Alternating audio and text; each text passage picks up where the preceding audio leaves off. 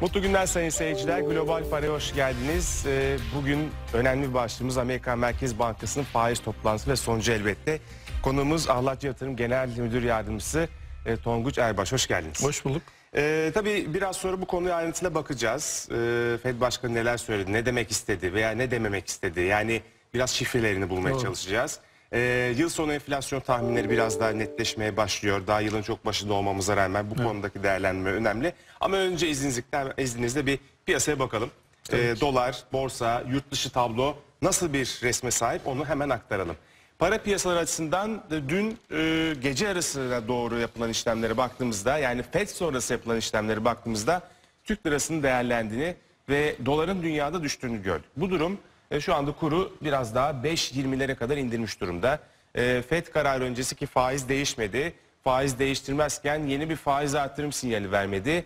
Bir yandan bilançosunun e, aslında küçültme hızına dair yeni yorumlar da yapmadı. Daha doğrusu yeni bir karar da almadı. Bunlara biraz sonra bakacağız ancak bu durum yani Fed'in e, daha sıkı bir para politikasına gitme konusunda çekimsel kalması, sabırlı olacağım demesi, bekleyeceğim demesi faiz artırımının kısa vadede gelmeyeceği izlenimin doğurunca dola- doların dünya düştüğünü gördük. Türk lirası bundan çıkar sağladı mı sağladı. 5.30'lu seviyelerden 5.20'lere doğru bir düşüş karşımıza çıkıyor dolar tarafında. E, Euro tarafında da bir miktar etki var. Euro'da da e, gerileme oldu. 6.02'de işlemler devam ediyor. Bunlar gece yarısından bu yana yapılan işlemler. Ama son 24 saate baktığımızda bir düşüş olduğunu da söylemekte yarar var. Sterlin 6.90'ın altına inmiş durumda ve İsviçre frangı 5.27'ye yakın bir noktada işlem görüyor. Yurt dışına baktığımızda dün e, euro dolar paritesinin ağırlıklı olarak 1.14'lerde olduğunu görmüştük. 14, 14.40, 14.50 biraz daha hakim seviyelerde. Şimdi 1.15'lerden bahsediyoruz. Evet, Bu selam gençler. etkisi. Yani euro doların yükselmesi doların düşüşünden, onun değer kaybından kaynaklanan bir durum. Daha çok euronun yükselişti. Bunu doların düşüşü olarak değerlendirmek lazım. Bu da hem euro doları de dolar endeksini e, aşağı çekti. Biraz daha geriletti e, diyebiliriz. E, bunun tabii dolar yen tarafına yansıması nasıl diye baktığımızda 109'lardaydı. E, bir miktar daha yen tarafına alım gelmiş 108'lereymiş. Ufak hareketler yani çok ciddi piyasa hareketi yok ama orada bir miktar oynaklık oldu. Sterlin dolar tarafında Sterlin biraz yükseldi. Yine 1.30'larda da 31'lere doğru bir geri dönüş olmuş. E, ama dolar frank tarafı oldukça yatay. Yani orada ciddi bir hareket karşımıza şu anda çıkmıyor. Borsamıza baktığımızda tabii borsamız kapandığında daha FED kararı ortaya çıkmamıştı. Ama e, bizim e, borsa kapanışına tablosuna baktığımızda gün içindeki e, hareketliliğinin e, bir kenara bırakılması durumunda yatay bir kapanış olduğunu söylemek lazım. Yani değişim çok sınırlı. Birkaç puanlık bir değişim. E, az da olsa bir yükseliş yine de karşımıza çıktı. Gün içerisinde görülen en yüksek seviye 104.793.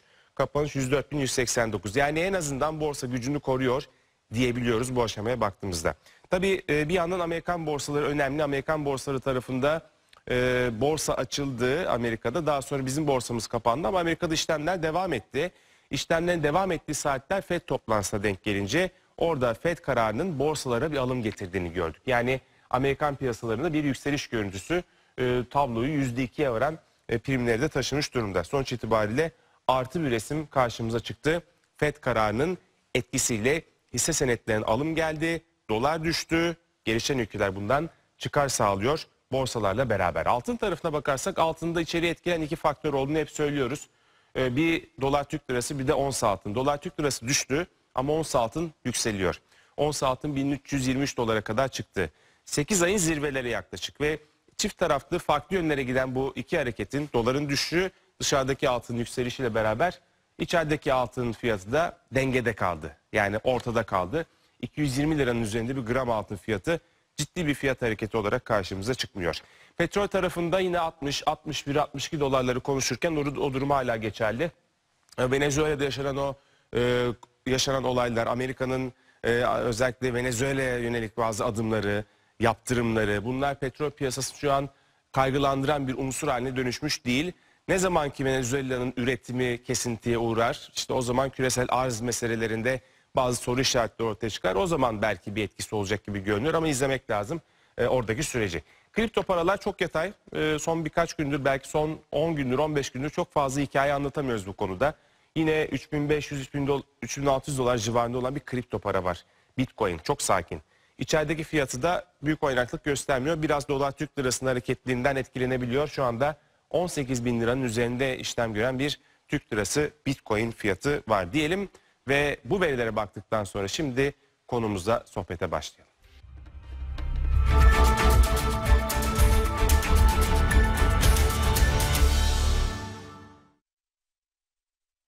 Evet Tonguç Erbaş'la beraberiz. E, piyasalardaki gelişmeleri değerlendireceğiz. Ekonomi gündeminde e, dün çok önemli bir gündü. FED toplantısı öncesinde Merkez Bankamızın enflasyon tahmini. Biz e, biraz daha yeni olandan başlayalım. FED tarafıyla başlayalım ve bir yandan piyasalardaki fiyatlamaya da bakalım. Şimdi az önce e, şu tabloya baktığımızda şunu söyledik. Doların dünyada bir değer kaybı var. Bu hem dolar endeksine hem euro dolara yansıyor.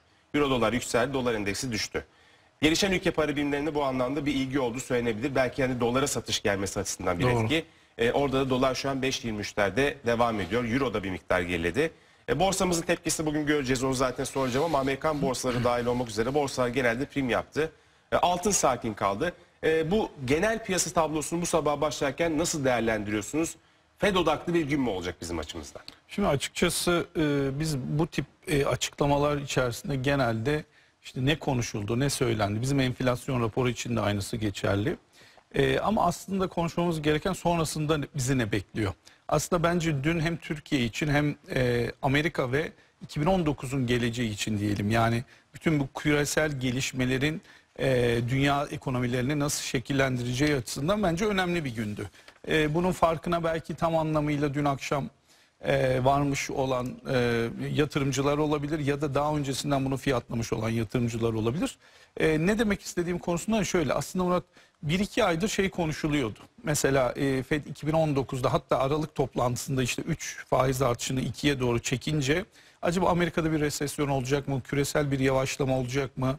Ee, özellikle Trump'la FED politikaları nasıl bir araya gelecek? Ee, bunu bir sonraki toplantıda FED acaba dile getirecek mi? Yani e, söylemsel olarak da. Bunlar konuşuluyordu. Dün akşam toplantıda aslında biz hem üyelerin e, yani bir faiz artışı zaten beklenmiyordu ki çeşitli terminallerde aslında 2019 için herhangi bir faiz artışı da yani FED her ne kadar işte iki faiz artışı yapacağız dese de beklenmiyordu. Dolayısıyla e, birkaç kelime değişikliği var metin içerisinde. Yani işte biraz daha sabırlıya, kademeli faiz artışından sabırlıya geçildi vesaire ama önemli olan şu. E, FED son 1-2 aydır konuşulan işte e, faiz artışı konusunda biraz daha çekinceli olabilir mi? Artı o bilanço küçültme e, tarihini, takvimini açıkladıktan sonra bunda da herhangi bir değişikliğe gidebilir mi ekonomiyi desteklemek amaçlı? E, biz hem Powell'ın açıklamalarında hem de Fed'in metin içerisine baktığımızda aslında bu her ikisinin de olabileceğinin dile gelmiş ilk toplantısı olarak görüyoruz. Şöyle bir şey yapalım mı? Şimdi e, bu konu hakkında e, bir iki tane grafimiz var. Yani Fed'in sonucu e, neleri içeriyor? Çok özet. Bir de Fed Başkanı'nın açıklamaları ne var? Sırayla bakalım isterseniz arz- e, adım adım gidelim. Mesela bu. e, burada bir kere faiz değişmedi. Yeni politika faiz artırım sinyali de verilmedi. Bilanço küçültme planı değişmedi. Şimdi e, faiz değişikliği zaten beklenmiyordu. E, yeni faiz artırım sinyali vermesi de hani çok kuvvetli bir ihtimal olarak da belki görünmüyordu ama e, bilanço küçültme tarafı e, yakından izlenen bir tabloydu. Zaten bilançosunu hali hazırda küçülten bir Amerikan Merkez Bankası var. O konuda hani bir yeni bir yönlendirme yapar mı deniyordu ama hiçbir noktada Değişmedi. hareket edeceğine dair bir sinyal bile vermedi Yok aslında. ama e, şunu ifade ediyor söylemlerinde. E, yani e, hani anladığı piyasanın da şu gerekirse ki bu gerekirse konusu biraz daha e, üstüne basarak söyleniyor. Biz faiz artışını yavaşlatabiliriz. Hatta bunu e, işte ekonomiyi desteklemek amaçlı tekrar geriye doğru faiz indirimlerine gidebiliriz. Yani genel algı bu. Bilanço küçültme tarafında da evet biz bir takvim içerisinde gidiyoruz. Ama bunun da revizyonu söz konusu olabilir. Yani biraz daha kartları açık masada oynadığı için e, piyasada aslında dünyadaki o gelişmelerde Fed'in bu tarafa doğru gidebileceğini düşündüğünden dolayı işte sizin biraz önce tabloda gösterdiğiniz dolardaki değer kaybı biraz da özellikle gelişmekte olan e, ülkelerin para birimlerine ve borsalarına hatta kendi borsalarına da yani Amerikan borsalarına da e, bir pozitif katkı sağlamış gibi gözüküyor. Yani dün akşam aslında 2019'da FED daha agresif faiz arttıracak. E, işte küresel e, bu dediğimiz hani savaş, ekonomik savaş e, e, küresel büyümeyi yavaşlatacak. Buna FED tepkisiz kalacak. Beklentisi bence ortadan kalktı. Bunun yerine FED bu gelişmeler içerisinde kendi politikalarını her an değiştirebilir. Algısı geldiğinden e, hemen bir e, yani şimdi o beklenti içinde baktığınızda şurada neredeyse yıl içerisinde herhangi bir faiz artışı beklenmiyor. Oldu da Amerika'da bir ekonomik daralma olduğunda hemen FED bilanço tarafında tekrar destekleyici olabilir. Dolayısıyla önümüzdeki 2-3 gün e, daha önce bizim yatırım yapmadığımız yabancı nezdinde söyleyelim. Önümüzde işte Türkiye, Brezilya e, veya Güney Afrika, Rusya gibi ülkeler var. Bunların çeşitli e, nedenlerle biz yatırım yapıyorduk ya da yapmıyorduk. Şimdi burada çok da bizim için bir getiri şeyi daha yükseldi diyelim yani beklentisi. Dolayısıyla bizim gibi ülkelere e, biraz da para girişi başlamıştı yılbaşından itibaren. Şimdi biraz hızlanarak devam etme ihtimali artmış gibi gözüküyor. Peki burada e, hani FED bu toplantıda beraber e, 2019 yılının geneli içinde aslında bir bakış açısı sunmuş oldu mu bize? Kesinlikle. Bu Bence- açıdan belki önemli bir toplantı. Kesinlikle bence e, yani daha değişmez politikalar olabileceğini biz Aralık'ta düşünürken hatta biraz sinyal vermişti ve belki takip ediyorsunuzdur son 10-15 günde aslında bazı e, köşe yazılarında bazı ekonomistlerin söylemlerinde bilanço küçültme e, hızının yavaşlayabileceği, değişebileceği konusu gündeme gelmişti ama bunun resmi kaynaklarla e, bir toplantı esnasında dile getirilmemişti ya da anlaşılmamıştı diyelim. Dolayısıyla dün akşam toplantı sonrası ben 2019'un özellikle Amerika Merkez Bankası politikaları açısından bir dönüm noktası olduğunu düşünüyorum. Yani bütün iki ay önce düşünülen piyasanın genel anlamda düşündüğü beklentilerin aslında tam tersini yaptı demeyelim. Evet listede var. Yani bütün o başlıklar içerisinde bir değişikliğe gitmedi. Ama bunu e, yapabilme konusunda daha fazla irade gösterebileceğini çok net bir şekilde ifade etti. Dolayısıyla piyasada bunu önden satın almaya başladı. Şimdi burada açıklamalara baktığımızda mesela Fed'in e, başkanının açıklamalarında e, sabırlı olma ifadesinin dışında piyasaya değil istihdam ve fiyatlara odaklandık ifadesi e, şu açıdan e, önemli gibi görünüyor. Ma- e, malum e, Trump'la Trump'ın özellikle Powell'a Fed başkanına gösterdiği tepkiler döneminde hatta o dönemde şu tartışılıyor acaba Trump Powell'ı görevde alabilir mi alamaz mı? Hukuki anlamda böyle bir yetkisi var mı yok mu gibi bazı tartışmalar vardı. O dönemde borsaların çok sallantıda olduğunu gördük. Daha sonra bir gizli bir barış oldu gibi sessizlik oldu. Kimse birbiri hakkında negatif bir şey söylememeye başladı. O dönemde piyasada piyasa bir mesaj verdi ve FED bunu aldı. Bu mesaj sonrası da faiz artırım konusunda o kadar agresif olmama kararı aldı yönünde yorumlar da vardı. Sanki biraz ona cevap niteliğinde bir ifade. Aslında çok e, doğru bir noktaya e, parmak bastı. Nedir o? Yani merkez bankaların aslında doğru bir fiyat istikrarı politikası vardır ama FED daha önce ne diyordu? Ben faiz e, politikamla enflasyonu belli bir noktaya çekmek istiyorum. E, yani bunu tabii ki istihdam tarafında, işte büyüme tarafında, ekonomik aktivite tarafında takip edeceğim. Ama dün akşamki ifadelerin arasında biraz enflasyon benim ilk önceliğim değil, istihdam, büyüme aslında onun içinde belirtmek istediği. Dolayısıyla biz o küresel yavaşlamadan ya da ticaret savaşlarından etkilenirsek ben bu sefer enflasyondan biraz feragat edip işte büyüme ve istihdam tarafını desteklemek için bu faiz e, politikamı değiştirebilirim ya da bilanço küçültme politikamı değiştirebilirim. Esas ana şey bu. Yani ana e, değişken bu diyelim bu söylemler içerisinde.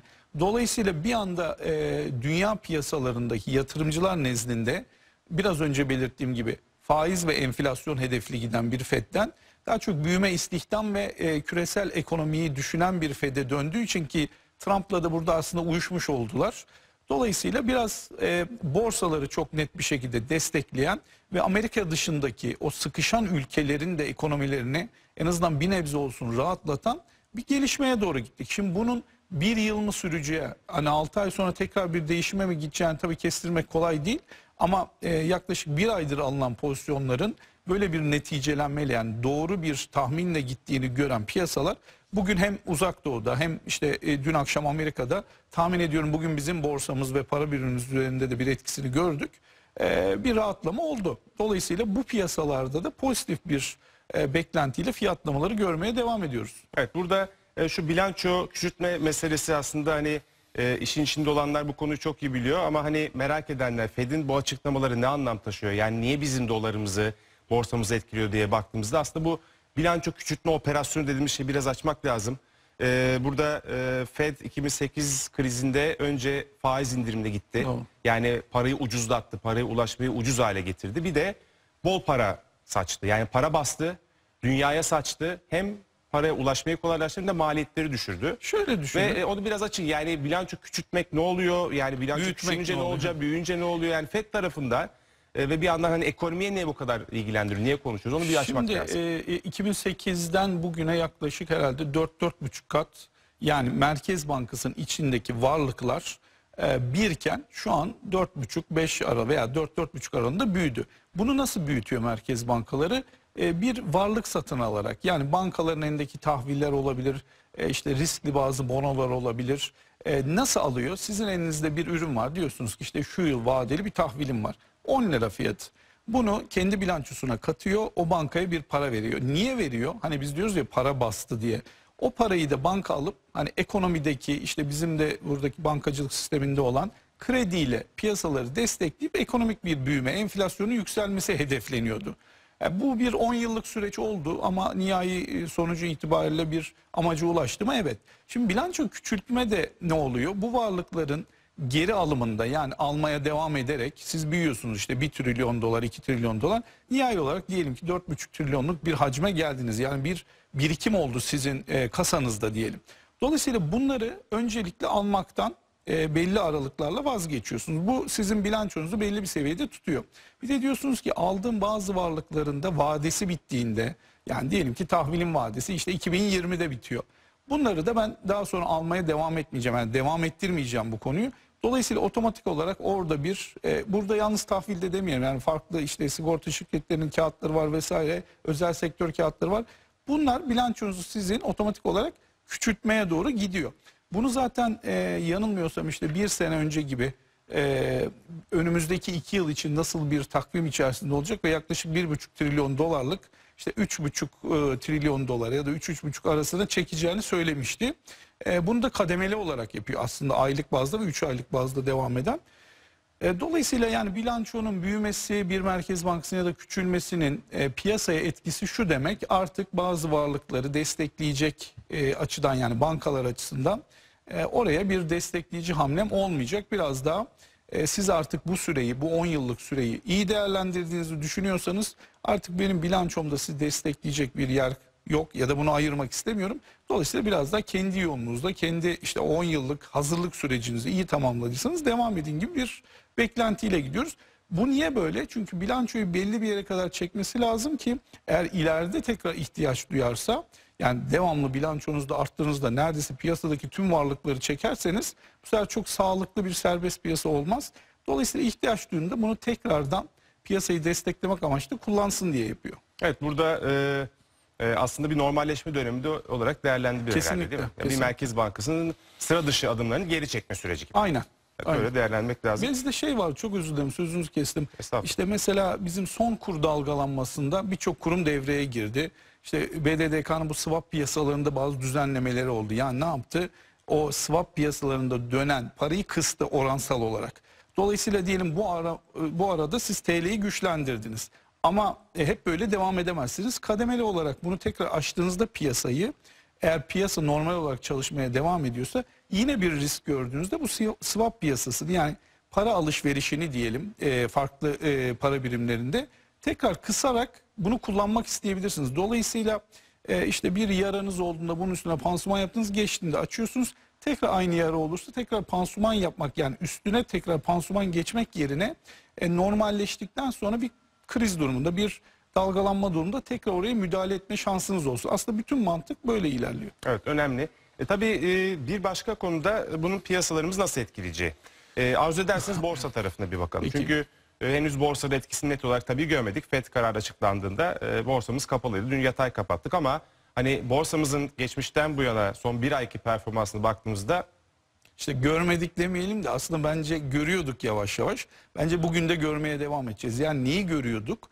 Ee, o son bir, bir buçuk aydır acaba FED böyle bir politikaya dönebilir mi diye bizim ve benzer ülkeler bir para girişi oluyordu. Biz çok ucuz e, olduğumuz her zaman söylüyorduk borsa tarafında birçok değere göre.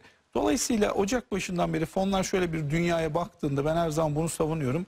Ya burada Türkiye gibi çok daha naif kalmış, ucuz kalmış, bizim buradan getiri sağlayabileceğimiz bir ülke ve borsası var. Dolayısıyla buraya yavaş yavaş bir fon girişi oluyordu. Tahmin ediyorum bugün beklentinin bir kısmı gerçekleşmiş olacak. Ama bugün de yine aynı beklentiyle para girişinin ben borsaya devam etmesini bekliyorum. Peki bugün dışında biraz daha vadi uzatırsak yani 84 binden buraya gelmiş bir borsa var. Bir iki gün dışında hep yükseldi Evet. ay boyunca. Ee, müthiş bir rally, müthiş bir yükseliş e, hızı.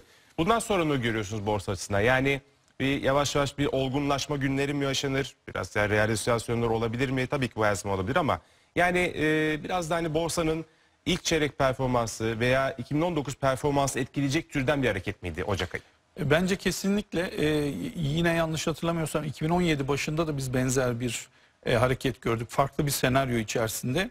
Ama şimdi Türkiye'nin e, Türkiye borsası üzerinde yani Borsa İstanbul üzerinde konuşursak bir kere şunu görmek lazım. Bir para girişi olduğu zaman e, genelde bunu e, zaman içerisinde sürükleyen bir davranış tarzı var yatırımcıların. Özellikle yurt dışı tarafından. Dolayısıyla ben e, evet söylediğinize katılıyorum zaman zaman e, geri çekilmeler düzeltmeler olacaktır. Ama artık o 90 veya şöyle diyelim 87.500-92.500 arasındaki o e, ne tarafa gideceğini bilmeyen borsadan para girmiş. Özellikle bankacılık sektörüyle de biraz daha e, yukarı doğru hareketlenmiş. Ve yıl içerisinde de her ne kadar önümüzde bir işte yerel seçim olması işte ne bileyim enflasyon konuşuyoruz büyüme konuşuyoruz Türkiye için. Hani bunlar hala kenarda duran bazı riskler gibi gözükse de ben buranın bir fırsat olarak değerlendirilebilecek seviye. Mesela şimdi diyoruz ki 5.32 değil mi dolar TL?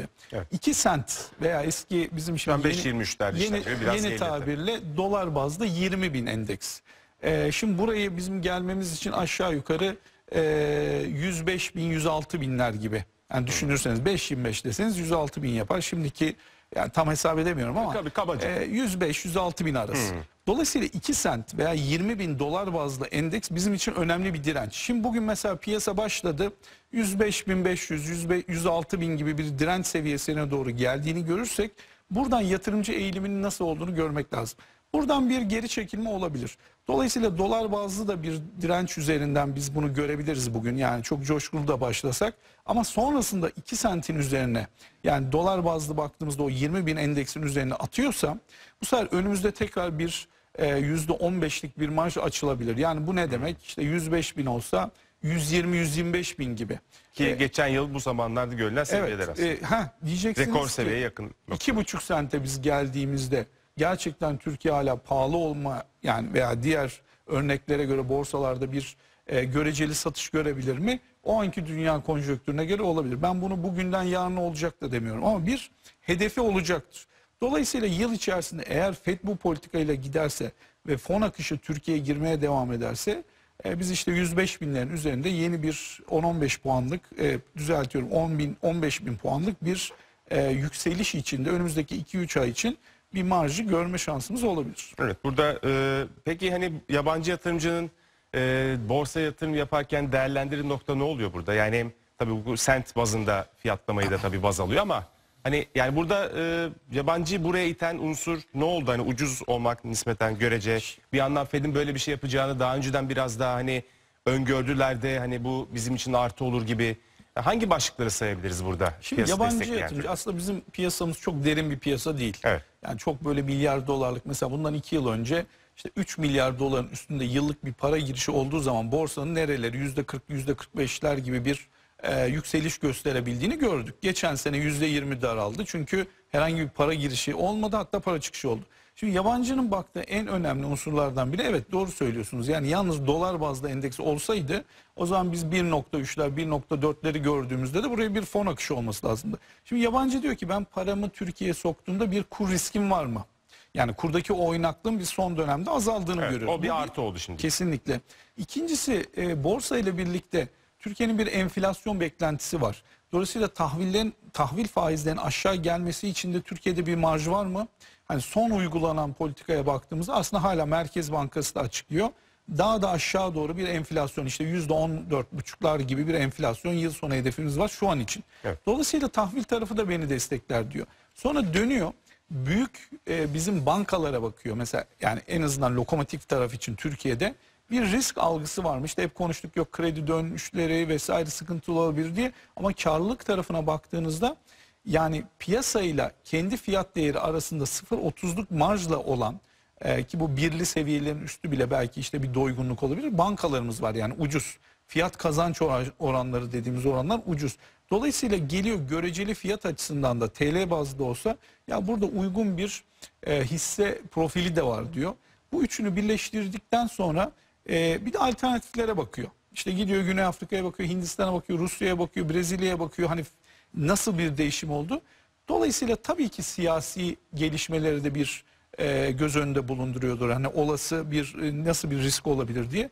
Bunların hepsini şimdi Türkiye içinde baktığında Ocak'tan itibaren burada bir getiri olabileceği algısının ben başladığını düşünüyorum. Dolayısıyla bu 4-5 başlık içerisinde neredeyse %80-90 e, hani yatırım için uygun olduğunu düşünüyorum. Ben yıl e, başından önce de bunun olduğunu düşünüyordum. Tek farkı e, işte dediğiniz gibi FED politikaları da acaba bizi destekler mi? Evet. Bir Artık ay önce destekler oldu, Bir ay önce çıktı. destekliyordu ve Ocak'tan beri de para girişi devam ediyor. Buradan e, Fed'den Merkez Bankası'na geçelim. Az önce biraz siz de bahsettiniz. Orada enflasyon beklentileri e, değişti. Yıllık enflasyon raporu yılda dört kez açıklanan bir Evet. rapordur. İlki açıklandı ve e, burada enflasyon tahmini 2019 yılı için, 2020 yılı için aşağı çekildiğini gördük. En son tahminler e, %14,6'lık bir 2019 yıl sonu enflasyonu ki %15,2 idi. Doğru. Yani bir düşürülme söz konusu. 2020 için e, bu %8,2'lik bir enflasyon tahmini var ve 2021 %5,4 yani hani orta vadede hedef hep Hep %5 %5. denir. Güzel hedefler ulaşılamaz. Yani Merkez Bankası o konuda geçtiğimiz yıllarda ulaşacak gibi olup eşinden döndüğü zamanlar da olmuştur. Ama bunlar son tahminler. Ee, bir yandan Merkez Bankası Başkanı Murat Çetinkaya'nın açıklamaları var. Ee, sıkı duruş mesajı burada yine ön planda. Onu Kesinlikle. her toplantıda, her e, ifadesinde e, dile getiriyor. Gıda fiyatları konusunda enflasyon üzerinde risk oluşturan bir faktör olarak değerlendirildi ama gıda fiyatı beklentisi bu arada değiştirmedi söyleyelim. Yani gelecek yıl yıl sonu, Doğru, daha yıl, yıl sonu etkileyecek. %13'te bıraktı. Yani bu tartışmaların olduğu bir ortamda o e, Merkez Bankası bu beklentiyi değiştirmeme yönünde bir adım attı. E, ne demek lazım dünkü enflasyon raporu hakkında Merkez Bankası'nın açıklamaları için? E Şimdi metin içinde ve Sayın Başkan'ın son açıklamasında şöyle bitirdi sözlerini aslında. E, bu metnin dedi ya da bu sunumun ana başlığı e, bizim e, enflasyonda kalıcı bir yani tam kelime itibariyle belki ifade edemeyebilirim ama kalıcı bir aşağı yönlü hareket görmediğimiz sürece ki birkaç toplantıda da bunu tekrarlıyor.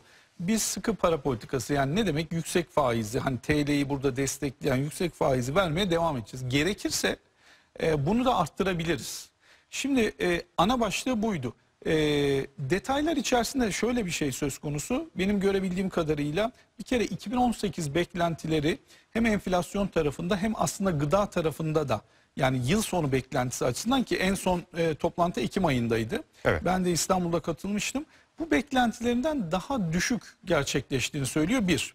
İkincisi önümüzdeki dönemde de özellikle petrol fiyatlarındaki revizesi, enflasyondaki revizesi ve hatta e, büyüme konusunda da e, işte iç talepteki yavaşlamanın özellikle turizm ve ihracat tarafıyla desteklendiğini söylüyor. Dolayısıyla Merkez Bankası'nın şöyle bir görüşü var benim anladığım kadarıyla. Enerji fiyatlarının 2019'da çok yükseleceğini düşünmüyor. Ee, bizim kur tarafında çok büyük dalgalanmalar olmaya e, kendisi de müsaade etmeyeceğini sıkı para politikasıyla görüyoruz. Bir üçüncüsü de büyüme tarafında olası yaşayabileceğimiz sıkıntısı e, beklentilerinin de e, turizm ve ihracatla aşılabileceğini düşünüyor. Ama e, şöyle bir tabii enteresan durum var. Biz 3 ayda bir yaptığımızda bu toplantıları e, yani şimdi geçen sene biz demişiz ki 80 dolar e, petrol beklentimiz. Hani bu sene 2019 için 63 dolar diyoruz. Dolayısıyla 17 dolar e, hani bilanço bazlı böyle baktığınızda Türkiye ekonomisine çok değiştirebilecek bir durum. E, bunların biraz da az marjlarla e, tahmin etmemiz lazım veya ifade etmemiz lazım gibi geliyor. Ama piyasa özellikle e, son döviz dalgalanması, kur dalgalanmasından sonra son 3-4 açıklamasında Merkez Bankası'nın e, çok daha istikrarlı bir Merkez Bankası ve e, kararlı bir Merkez Bankası'nı görüyor. Ben her e, toplantı ya da Sayın Çetinkaya'nın açıklaması sonrasında piyasada olumlu bir hava görüyorum. Burada herhangi bir politika değişikliğine gitmese dahi dolayısıyla bu da aslında bizim bir şu an için şansımız gibi gözüküyor. Genel anlamda da e, Merkez Bankası piyasaları enflasyon bazlı desteklemeye devam edeceğini yani kendi politikasıyla ve fiyat istikrarı hedefine e, ulaşmak için de her e, politikayı uygulamaktan çekinmeyeceğini ifade etmiş gibi gözüküyor. Evet önemli başlıklar. Ee, hepimiz merak ediyoruz. Yani Merkez Bankası enflasyon için ne tahmin ediyor? Yeni ekonomi programında %16 civar bir enflasyon Evet. öngörüsü var. Tabii yeni ekonomi programının açıklandığından bu yana üzerinden aylar geçti. O yüzden hani Merkez Bankası'nın verileri, elindeki veriler daha taze veriler. O biraz daha e, merak konusu olmaya devam ediyor. E, tabii bir yandan hani biz biraz borsa tarafını konuştuk. e, dolar tarafına biraz girdik. E, ama hani altın tarafında bir konuşmamızda yarar var. Çünkü e, altın e, hepimiz malum. Türkiye'de altın önemlidir. Yani yatırım açısından önemlidir. Yastık Kesinlikle. altı açısından önemlidir. Bankalarda bu yeni fonlar son dönemde kuruldu. Ona dayalı bazı varlıklar ihraç ediliyor. Ama sonuçta altını fiziki olarak da talep eden bir ülkeyiz.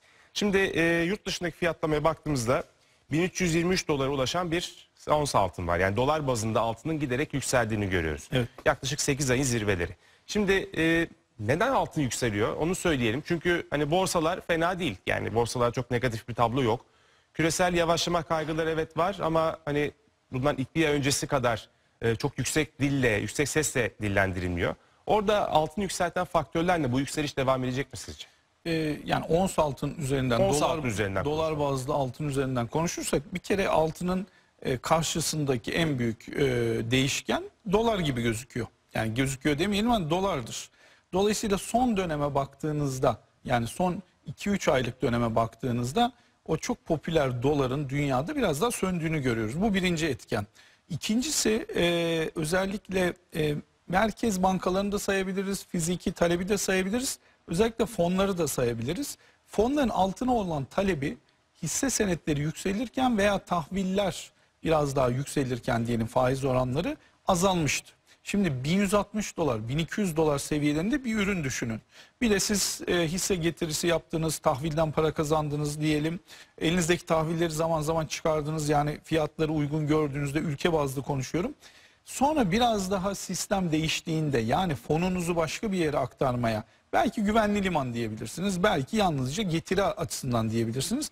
Altının o fiyatlarda bir fon girişi oldu. Yani biz burada ETF dediğimiz hani bazı vadeli e, fiyatlarda veya e, borsalarda baktığımız o e, değişkenlere baktığımızda işte kim daha fazla alıyor ya da satıyor, hangi yönde daha çok işleme doğru meyilli diye baktığımızda burada altına bir e, giriş olduğunu gördük. Yani fonların biraz daha tahvil ve borsa piyasasından ki Amerikan borsasında bunu çok sert bir düzeltmeyle gördük altına girdiğini gördük. Sonra dolar değer kaybetti. O biraz daha altını yükseltti. E şimdi e, FED geçen yani bundan iki ay önce 3 faiz artışı yapacağım derken Aralık'ta 2'ye döndü. Dün akşam neredeyse herhangi bir faiz artışına gitmeyeceğini aşağı yukarı ifade ettiğini piyasalar anlayınca hemen bir 10-15 dolarlık da altına bir talep geldi. İşte altın fiyatı içinde herhangi bir jeopolitik risk yok. Herhangi bir enflasyon baskısı yok şu an için. Dolayısıyla bu etkiler de katılırsa e, ki bizim aslında bir 1400-1450 dolar civarı yıl sonu bir ons altın beklentimiz var. E, yani bu seviyelere doğru gitmesi çok da sürpriz olmaz.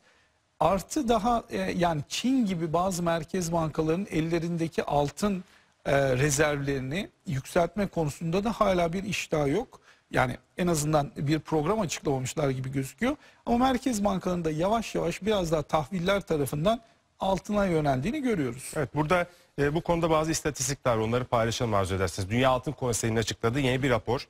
E, burada dünyada 2018'de altına talep nasıl seyretti onun cevabını veriyor.